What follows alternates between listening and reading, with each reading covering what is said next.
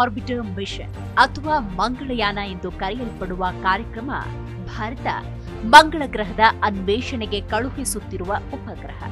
ಇದನ್ನ ನವೆಂಬರ್ ಐದು, ಎರಡ್ ಸಾವಿರದ ಹದಿಮೂರರಂದು ಭಾರತೀಯ ಬಾಹ್ಯಾಕಾಶ ಸಂಶೋಧನಾ ಸಂಸ್ಥೆ ಇಸ್ರೋ ಯಶಸ್ವಿಯಾಗಿ ಉಡ್ಡಯನ ಮಾಡಿತು ಈ ರೀತಿಯ ಕಾರ್ಯಾಚರಣೆಗೆ ಬೇಕಿರುವ ವಿನ್ಯಾಸ, ಯೋಜನೆ, ನಿರ್ವಹಣೆ ಮತ್ತು ಕಾರ್ಯಾಚರಣಾ ತಂತ್ರಜ್ಞಾನವನ್ನ ಅಭಿವೃದ್ಧಿಪಡಿಸುವುದು ಈ ತಾಂತ್ರಿಕ ಸಾಮರ್ಥ್ಯ ಪ್ರದರ್ಶಕ ಯೋಜನೆಯ ಉದ್ದೇಶವಾಗಿದೆ. ಈ ಉಪಗ್ರಹವನ್ನ ಇಸ್ರೋ ಸಂಸ್ಥೆ ಆಂಧ್ರಪ್ರದೇಶದ ಶ್ರೀಹರಿಕೋಟಾದಲ್ಲಿರುವ ಸತೀಶ್ ಧವನ್ ಬಾಹ್ಯಾಕಾಶ ಕೇಂದ್ರದ ಉಡ್ಡಯನ ಕೇಂದ್ರದಿಂದ PSLV rocket C two five ಅನ್ನ ಬಳಸಿ ಐದನೇ ನವೆಂಬರ್ ಎರಡ್ ಸಾವಿರದ ಹದಿಮೂರರಂದು ಉಡ್ಡಯನ ಮಾಡಲಾಯಿತು.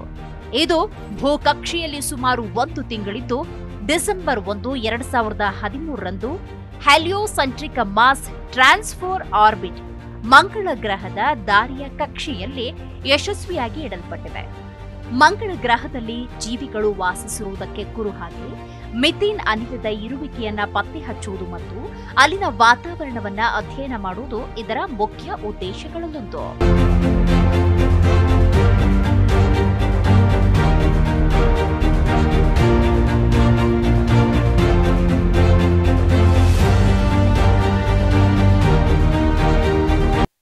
ನವೆಂಬರ್ ಐದು, ಎರಡು ಸಾವಿರದ ಹದಿಮೂರರಂದು ಜಾಗತಿಕ ಬಾಹ್ಯಾಕಾಶ ಸಮುದಾಯದಲ್ಲಿ ತನ್ನ ಸ್ಥಾನವನ್ನು ಭದ್ರಪಡಿಸುವ ಮಂಗಳಯಾನ ಮಾರ್ಸ್ ಆರ್ಬಿಟರ್ ಮಿಷನ್ ಉಡಾವಣೆಯೊಂದಿಗೆ ಭಾರತ ಮಂಗಳ ಗ್ರಹಕ್ಕೆ ಗಮನಾರ್ಹ ಪ್ರಯಾಣವನ್ನ ಪ್ರಾರಂಭಿಸಿತು.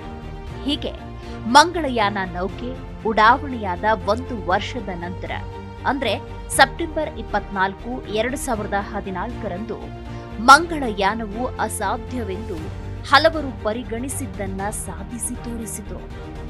ಮಂಗಳ ಗ್ರಹವನ್ನು ತಲುಪಿದ ಮೊದಲ ಏಷ್ಯಾದ ಬಾಹ್ಯಾಕಾಶ ನೌಕೆ ಮತ್ತು ಚೊಚ್ಚಲ ಪ್ರಯತ್ನದಲ್ಲಿ ಮಂಗಳನ ಅಂಗಳದತ್ತ ತೆರಳಿದ ವಿಶ್ವದ ಮೊದಲ ರಾಷ್ಟ್ರ ಅನ್ನೋ ಹೆಗ್ಗಳಿಕೆಗೆ ಪಾತ್ರವಾಯಿತು ನಮ್ಮ ಭಾರತ.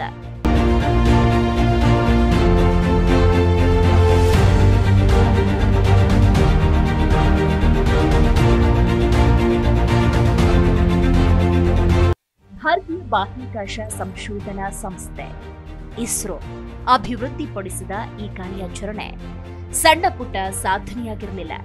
ಬದಲಿಗೆ ಇದು ಕೇವಲ ಮಂಗಳ ಗ್ರಹವನ್ನ ಅನ್ವೇಷಿಸಲು ಮಾತ್ರವಲ್ಲದೆ ಭಾರತದ ಬಾಹ್ಯಾಕಾಶ ಸಾಮರ್ಥ್ಯಗಳ ಗಡಿಗಳನ್ನ ವಿಶ್ವ ಮಟ್ಟಕ್ಕೆ ತೆರೆದುಕೊಳ್ಳುವುದಕ್ಕೆ ಈ ಅಂತರ್ಗ್ರಹ ಬಾಹ್ಯಾಕಾಶ ಯೋಜನೆಯಲ್ಲಿ ಭಾರತದ ಈ ಜಿಗಿತ ಆಶ್ಚರ್ಯಕರವಾಗಿ ಕಡಿಮೆ ವೆಚ್ಚದಲ್ಲಿ ರೂಪಿಸಲಾಗಿತ್ತು.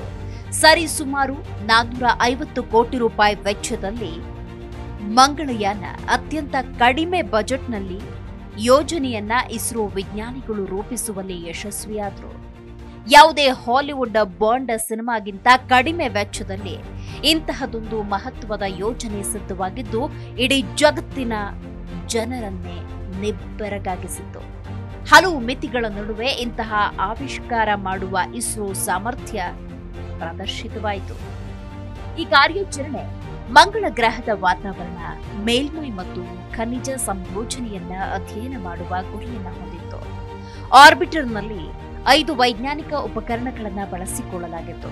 ಮೊದಲಿಗೆ ಕೇವಲ ಆರು ತಿಂಗಳಿಗೆ ಮಂಗಳನ ಅಧ್ಯಯನಕ್ಕೆಂದು ಪ್ಲಾನ್ ಮಾಡಲಾಗಿತ್ತಾದರೂ ಬಳಿಕ ಮಂಗಳಯಾನ ನೌಕೆ ಏಳು ವರ್ಷ, ಆರು ತಿಂಗಳು, ಎಂಟು ದಿನಗಳ ಕಾಲ ಕಾರ್ಯನಿರ್ವಹಿಸಿ ಅಮೂಲ್ಯವಾದ ಮಾಹಿತಿಯ ಸಂಪತ್ತನ್ನ ಭೂಮಿಗೆ ರವಾನಿಸಿತು.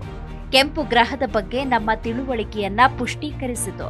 ಮತ್ತು ಮಂಗಳದ ಧೂಳಿನ ಬಿರುಗಾಳಿಗಳು, ಮಿಥೇನ್ ಉಪಸ್ಥಿತಿ, ವಾತಾವರಣದ ಮಾದರಿಗಳ ಒಳನೋಟವನ್ನು ಒದಗಿಸಿತು. ಮಂಗಳಯಾನದ ಯಶಸ್ಸು ಜಾಗತಿಕವಾಗಿ ಪ್ರತಿಧ್ವನಿಸಿದೆ. ಪ್ರಮುಖ ಬಾಹ್ಯಾಕಾಶ ಸಂಸ್ಥೆಗಳಿಂದ ಮೆಚ್ಚುಗೆ ಮತ್ತು ಗೌರವವನ್ನ ಪಡೆಯಿತು. ಮೊದಲ ಪ್ರಯತ್ನದಲ್ಲಿ ಇಸ್ರೋ ವಿಜಯ ಬಾಹ್ಯಾಕಾಶ ಪರಿಶೋಧನೆಯಲ್ಲಿ ಅಪರೂಪದ ಸಾಧನೆಯಾಗಿದೆ.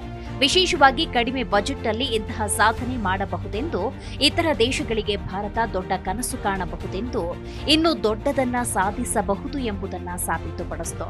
ಇಸ್ರೋ ಮುಂಬರುವ ವರ್ಷಗಳಲ್ಲಿ ಉಡಾವಣೆಗೆ ಸಿದ್ಧವಾಗಿರುವ ಮಂಗಳಯಾನ ಟೂ ಅನ್ನ ಯೋಜಿಸುತ್ತಿದ್ದಂತೆ, ಮಾಂ ಪರಂಪರೆಯು ಸ್ಫೂರ್ತಿ ನೀಡುತ್ತಲೇ ಇದೆ.